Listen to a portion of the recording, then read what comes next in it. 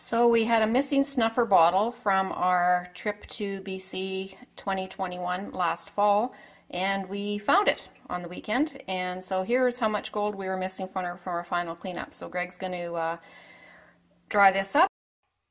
So we're just measuring the final cleanup from our last uh, journey, our last trip, you know, in September of uh, 2021. 2.453 grams. This was a missing um, vial that we finally found in uh, stuck away in a cooler.